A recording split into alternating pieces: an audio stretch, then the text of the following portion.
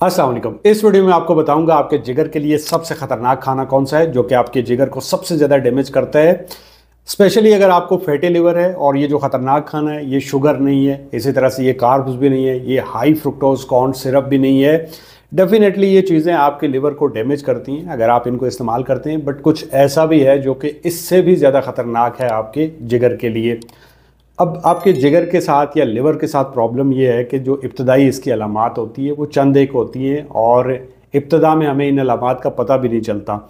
या फिर हम इनको इग्नोर कर देते हैं, जिसकी वजह से जब लिवर डैमेज हो जाता है, तब हमें पता चलता है। अमूमन जो जिगर की इब्तदाई अलामत है, उनमें आपको दाई साइड पर रिप केज या छाती की जो पसलियाँ होती हैं, इनके ठीक नीचे यहाँ पे दर्द देखने को मिल सकता है। इसी तरह से आपका वज़न कम होगा, भूख कम लगेगी, आपको शदीद थकावट रहेगी, स्किन के ऊपर येलो कलर देखने को मिल सकता है, स्किन के ऊपर खारिश हो सकती है। तो ये इसकी इब्तदाई अलामत हो सकती हैं। अब जिगर के बारे में एक मिथ है कि जब आपका जिगर ख़राब हो जाता है तो ये वापस रीजनरेट नहीं होता। बट ये याद रखिए कि जिगर आपकी बॉडी का वो वाहिद ऑर्गन है जो कि 100 परसेंट रीजनरेट कर लेता है, ख़ुद को, यानी मुकम्मल सेहत याब हो जाता है। इसके अलावा जिगर के बारे में एक और मिथ है कि जिगर जो होता है, वो अपने अंदर टॉक्सिन्स को जमा करता है, ज़ख़ीरा करता है, यानी जो जहर आलूद मादे होते हैं, उनको अपने अंदर जमा कर लेते हैं। ऐसा नहीं है, जो आपका जिगर होता है, वो जितने भी जहरीले मवाद होते हैं, जो टॉक्सिन्स होते हैं, इनको डिटॉक्स करने का काम आपका जिगर करता है, यानी जिगर इन जहरीले मवाद को साफ़ करने का काम करता है। इसके बरक्स में जो आपकी बॉडी में फैटी सेल्स होते हैं, वो इन टॉक्सिन्स को अपने अंदर जमा करते हैं। एनी anyway, जब आपका लीवर ख़राब हो जाता है तो इसके अंदर स्कार बन जाते हैं आप लीवर सिरोसिस की तरफ़ चले जाते हैं जिगर के कैंसर का ख़तरा बढ़ जाता है जिसका मेडिकल प्रोसेस में जो ट्रीटमेंट है वो इतना अच्छा नहीं है इसलिए कि दुनिया में चंद एक ऐसे लोग हैं जिनका लिवर जो है वो हेल्दी है और अगर हेल्दी है भी तो जो डोनेट करने वाले हैं, वो बहुत कम होते हैं। और आपको एक लंबा इंतज़ार करना पड़ता है, अगर आप जिगर मिलने तक ज़िंदा रहे तो। और अगर आपको जिगर मिल भी जाता है तो उसके बाद फिर आपको एंटी रिजेक्शन दवाइयाँ दी जाती हैं, जैसे प्रेडनीसोलान वगैरह है। एंटी रिजेक्शन वो दवाइयाँ होती हैं, जब आपकी बॉडी में कोई फॉरेन बॉडी आती है, यानी आपको किसी और का जिगर जब ट्रांसप्लांट किया जाएगा तो आपकी बॉडी फौरी तौर पे अपने इम्यून सिस्टम को एक्टिव करती है इम्यून रिस्पॉन्स आता है। उस इम्यून सिस्टम को, उस इम्यून रिस्पॉन्स को दबाने के लिए इम्यून सप्रेजेंट दी जाती है, जो कि बहुत ही स्ट्रॉन्ग दवाइयाँ होती हैं, जिनके बहुत सारे साइड इफ़ेक्ट्स होते हैं। तो इसका सिंपल सोल्यूशन ये है कि आप अपने जिगर को ख़राब होने से पहले ही रोक लें। अब मैं आपके साथ एक बड़ी इंटरेस्टिंग एनिमल के ऊपर होने वाली स्टडी शेयर करता हूँ, जो कि चूहों के तीन ग्रुप पे की गई। और ये जो स्टडी है, इससे आपको वो बात समझने में मदद मिलेगी, जो कि मैं आपको आगे समझाऊँगा। अब देखिए, जो चूहों के तीन ग्रुप थे, उसमें से जो पहला ग्रुप था, उसको उन्होंने जो पिग लार्ड होता है, जो सुअर की चर्बी होती है और साथ में अल्कोहल होता है, वो उन्होंने खिलाया।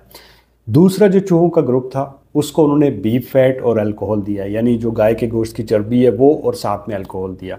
तीसरा जो चूहों का ग्रुप था, उसको कॉर्न ऑयल यानी मकई का जो तेल होता है और साथ में अल्कोहल दिया।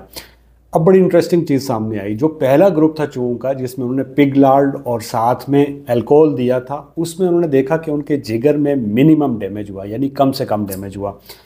जो दूसरा ग्रुप था चूहों का, जिसमें उन्होंने बीफ फैट दिया था, यानी गोश्त की जो चर्बी होती है, वो दी थी और साथ में अल्कोहल दिया था, उसमें कोई डैमेज नहीं हुआ। जो तीसरा ग्रुप था, जिसमें कॉर्न ऑयल और साथ में अल्कोहल दिया गया गैस करिए उसके साथ क्या हुआ होगा?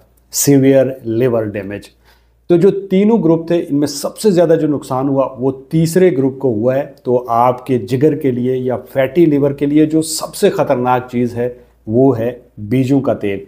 बीजों के तेल हाईली इन्फ्लामेटरी होते हैं, खासकर जब इनको प्रोसेस करके मार्केट में बेचा जाता है। इनके ऊपर वेजिटेबल की पिक्चर्स लगाई जाती हैं और लोग इनको वेजिटेबल ऑयल समझ के ख़रीदते हैं। अब ये जो सारी बातें मैंने आपके साथ की हैं, वो आपको जो चीज़ समझाने के लिए की है, वो ये है कि चर्बी या फैट की एक किस्म होती है, जिसे ओमेगा सिक्स फैटी एसिड या फिर लेनोलिक एसिड बोलते हैं। ये जो लेनोलिक एसिड होते हैं, हमारी जो 25 से 30 परसेंट कैलोरीज हम हासिल कर रहे होते हैं, वो इस लेनोलिक एसिड या ओमेगा सिक्स से ले रहे होते हैं।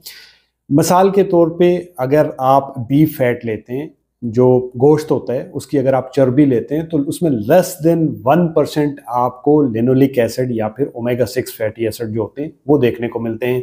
इसके बरक्स में अगर आप कॉर्न ऑयल लेते हैं तो उसमें 56.6 परसेंट तक आपको ओमेगा सिक्स या लेनोलिक एसिड देखने को मिलता है, जो कि हाईली इन्फ्लामेटरी होता है। लिहाजा ये सीड ऑयल या बीजों के तेल में बार बार गर्म किया हुआ लेनोलिक एसिड आपको खिलाया जाता है, जिससे लिवर डैमेज के साथ साथ आपका नर्वस सिस्टम भी खराब होता है। फिर अगर आप किसी गलती से होटल में चले जाते हैं तो वहाँ पे ये जो प्रोसेस करके पैक किया हुआ तेल होता है, इसको दोबारा से बीसों दफ़ा फिर इसको गर्म किया जाता है। बार बार गर्म किया जाता है, उसमें आपको तल के चीज़ें दी जाती हैं, जैसा कि डॉक्टर अफान कैसर कहते हैं कि दादा ने तेल डाला होता है और पोता उसको निकाल रहा होता है। बहरहाल, ये जो आप 25 से 30 परसेंट जो कैलोरीज होती हैं, वो ओमेगा सिक्स या लेनोलिक एसिड की सूरत में लेते हैं।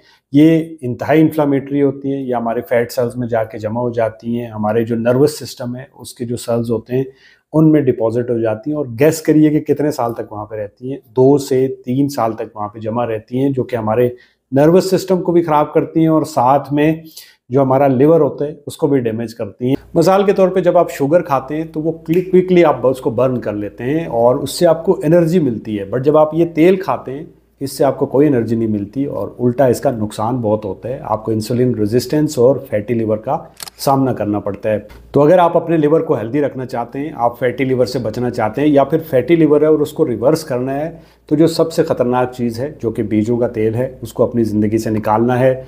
और जब भी तेल लेना है, उसके इंग्रेडिएंट ज़रूर आपने पढ़ने हैं स्पेशली अवॉइड करना है। अगर सोयाबीन ऑयल हो, अगर कॉर्न ऑयल हो, अगर केनोला ऑयल हो, अगर सेस्मिक ऑयल हो तो इनको अपनी ज़िंदगी से निकाल देना है। इस गंदे और बार बार ऑक्सीडाइज गर्म किए हुए तेल जिसमें ओमेगा सिक्स फैटी एसिड ज़्यादा होते हैं, इसको आपने रिप्लेस करना है ऐसे तेल से जिसमें ओमेगा थ्री फैटी एसिड ज़्यादा हो। अब कौन से तेलों में ओमेगा थ्री फैटी एसिड ज़्यादा होते हैं? फ़िश ऑयल जो मछली का तेल होता है, उसे आप इस्तेमाल कर सकते हैं। कॉड लिवर ऑयल ये भी मछली का तेल होता है। कॉड एक मछली होती है जिसके लिवर से इस तेल को बनाया जाता है। इसके ऊपर ऑलरेडी हमने वीडियो बनाया हुआ है, वो जाके आप देख सकते हैं। ये तेल आप इस्तेमाल कर सकते हैं। आप ऑलिव ऑयल ले सकते हैं। एवन के जो कोकोनट ऑयल होते हैं, वो भी बेहतर होता है बीजों के तेल से तो आप उसे भी इस्तेमाल कर सकते हैं। ये जो तेल होते हैं, ये एंटी इन्फ्लामेटरी होते हैं, यानी जो सोजिश होती है, उसको कम करते हैं। अब मैं इस वीडियो को कंक्लूड करता हूँ और आपके लिए इसे बिल्कुल ही आसान कर देता हूँ। देखिए, अगर आप अपने लिवर को हेल्दी रखना चाहते हैं फैटी लिवर से बचना चाहते हैं फैटी लिवर को रिवर्स करना चाहते हैं, चार चीज़ें आपके लिए। नंबर वन आपने ये जो बीजों का तेल है, इसे अपनी ज़िंदगी से निकाल देना है। नंबर दो, आपने जो ओमेगा सिक्स फैटी एसिड जिन तेलों में ज़्यादा हैं, उनको बंद कर देना है और ऐसे तेल लेने हैं जिनमें ओमेगा थ्री फैटी एसिड ज़्यादा हों। नंबर तीन, जो एनिमल फ़ूड है, जैसे आप गोश्त वगैरह खाते हैं, इसको आपने मिनिमम कर देना है, यानी कम से कम इस्तेमाल करना है। और अगर आप इस्तेमाल करना चाह रहे हैं तो आपने ग्रास फ़ीड एनिमल यूज़ करना है। जैसे आप गाँव वगैरह में जाती हैं तो जो गाय या भैंसें जो घास चढ़ती हैं, घास खाती हैं, बेड़े हैं, बकरियाँ हैं वो आप इस्तेमाल कर सकते हैं। और नंबर चार क्रूसीफरस वेजिटेबल्स आप गूगल पे लिखेंगे तो आपको पता चल जाएगा। ये सारी जो वेजिटेबल्स होती हैं, इनको आप अपनी डाइट में ऐड करिए और हेल्दी रहें। दुआओं में याद रखिए। इस वीडियो से अगर आपको कुछ सीखने को मिला है तो लाइक कमेंट शेयर सब्सक्राइब अल्लाह हाफ़